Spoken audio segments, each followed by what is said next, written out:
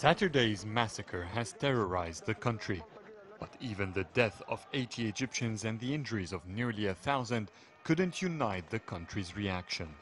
Few political powers held the government responsible and asked to trial the interim president, while others blamed the Muslim Brotherhood. نطالب بفض اعتصام رابع العدوية في أقرب وقت ممكن We demand the evasion of Rabah El Adawi protesters as soon as possible and take all legal measures to do so. We declare the Muslim Brotherhood a forbidden group. It's a terrorist group. It just takes politics as cover. This cause should not allow the armed forces to participate in the political life. أن هذا التفويض لا يعطي الحق للمؤسسة العسكرية في التدخل في الحياة السياسية The Brotherhood, on the other hand, vowed to continue their rallies against the armed forces who they believe are conspiring with the police against them. What happened yesterday is a terrifying massacre by all means. All peaceful protesters were killed with live ammunition. All injuries were in the chest and in the head. The intention was to murder.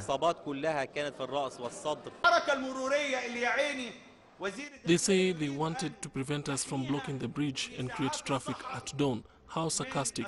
So therefore, they shed our blood on the streets. This is a lie. We didn't go. We didn't ascend. Our destination was not to go above the October Bridge. Videos showed that clashes were near the bridge, not on it, which indicated that protesters were heading towards it and that the police didn't attack the sit in Rabat. Egypt's interior minister said that protesters attacked first and defended his troops from killing anyone. انما انا باؤكد واؤكد ان الداخليه عمرها I assure you that the Interior Ministry would never fire a bullet on any Egyptian. As far as setting a date to evade the sit-in, we are coordinating with the armed forces to determine an exact date and time. But this is according to the prosecution decision on the filed cases, so that we would have a legal cover when proceeding.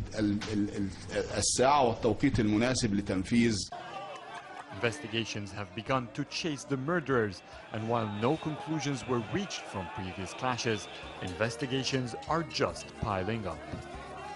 The truth is shattered into pieces, but definitely someone is lying. Because if the Muslim Brotherhood protests were peaceful and the Interior Ministry did not use live ammunition, how did dozens die? Adil Mahroui, CCTV, Cairo.